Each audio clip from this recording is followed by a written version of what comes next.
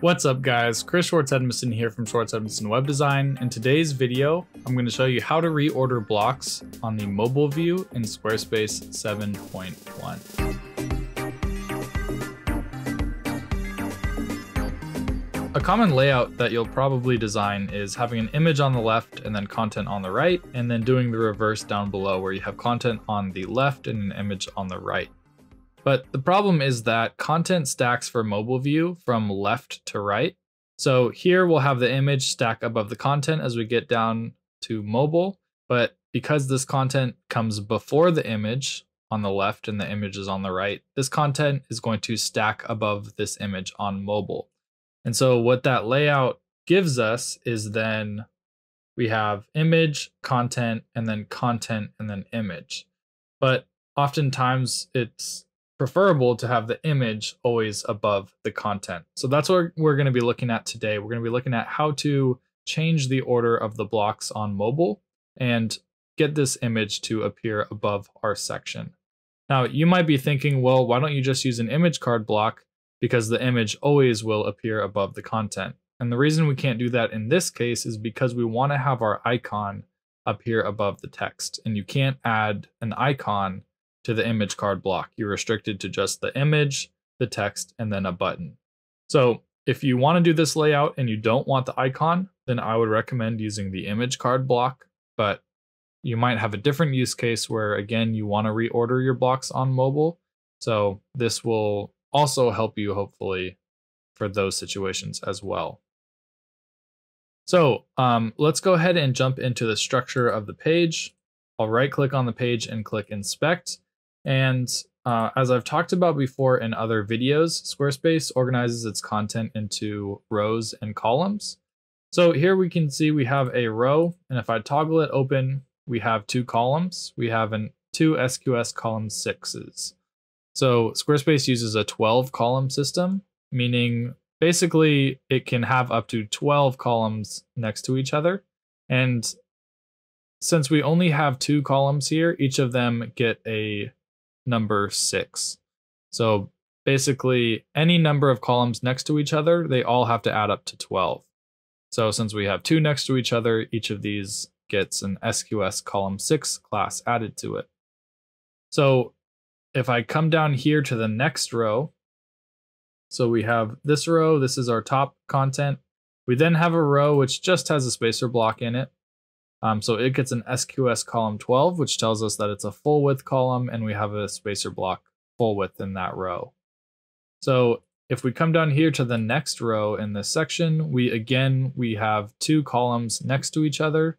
So they both get an SQS column 6 class. Now, because all of these columns are the same size, we have two columns here or we have a column next to each other down below and we have a column next to each other up here, there isn't really a good way to only target this one column and move it above the column before it because they're all within the same section. So the first thing that we'll have to do is we'll have to move this content down here into its own section. So that way we can limit our CSS to just uh, the one section that contains this content. So that's the first um, critical thing that we have to do is we have to move this content into its own section. So luckily it's pretty easy to do that since Squarespace just introduced uh, duplicating content uh, within a section or duplicating sections. So I can click that copy button and it copies it down below. And now I'm just going to delete all of the content uh, that we'll already have up above in that first section. Cool. So now we have this content in its own section, and then I can delete all of this bottom content from this section because I only need the content, the top content in this section. Okay, so now I have uh, this content that we're going to actually be writing the CSS for isolated to its own section. So now it'll be um, easy to write specific CSS just for this content to switch the order of those columns. The first thing that we want to do though is we have a bunch of space here between these two sections because we have the space, the padding on the bottom of this section and the padding on the top of this section. So what we'll first want to do is go ahead and target this bottom section and let's just remove the, the top padding from it. So I'll right click and click inspect. And then you can see the content wrapper class, all of that green, that's all the padding that's on the section that we're going to be getting rid of. But I have to first target this section by its data section ID. And the data section ID is specific to this one section. And now I can target that content wrapper class. So I'm just going to copy that. And now within this data section, I'll open up some curly brackets and we'll target the content wrapper class and we'll give it a padding top of zero. Now I need to go ahead and give it an important tag. Just have to spell it right. And if I reload the frame, let's see if that did in fact work. And now, yes, it did. So now our content is much closer to the top section because we've gotten rid of all of that padding that was on the content wrapper. So now you can see no more green on top. There's no more padding on top. So if we wanted to get them closer together, then I could also remove the padding from the bottom of this section.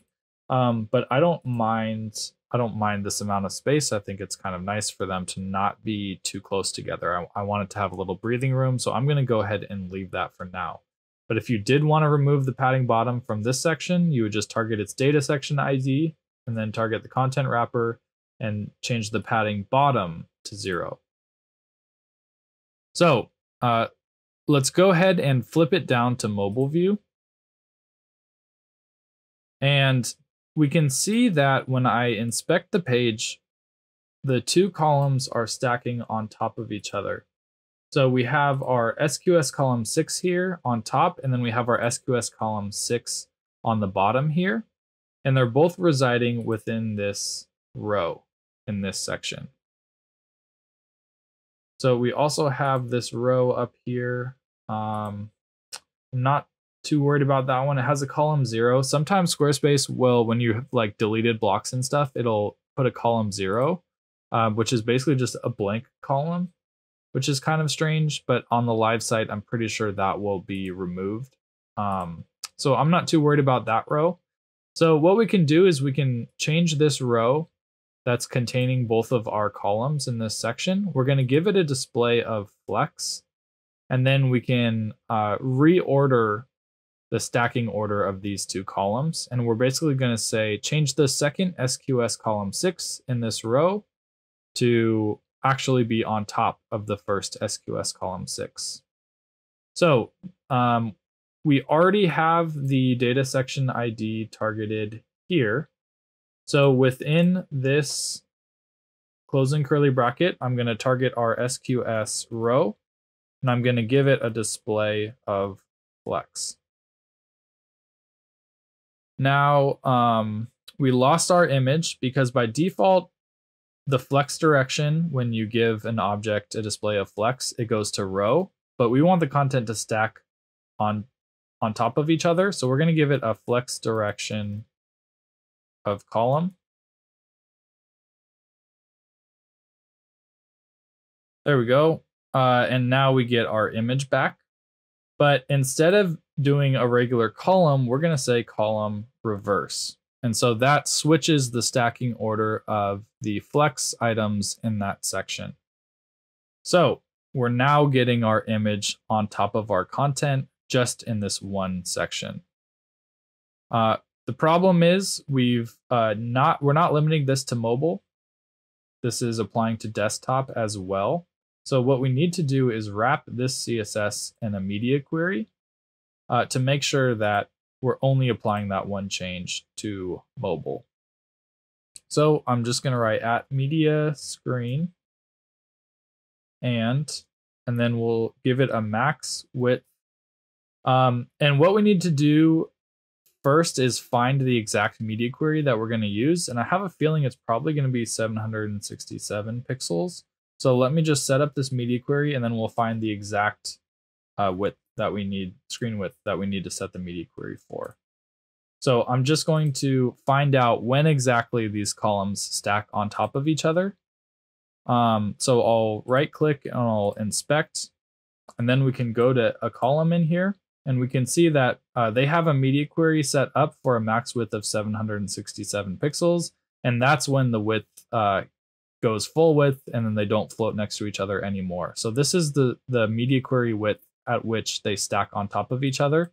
And that's when we want this flexbox to apply. So I have set up my screen width to be the correct width. So we're good there. Um, so we have our media query set up. So now if I go back to desktop, everything looks exactly the same as it did before. But now as we shrink down the screen, when our items go to stack on top of each other, we're now getting image, content, image, content. So that's how you can change the stacking order of items on mobile.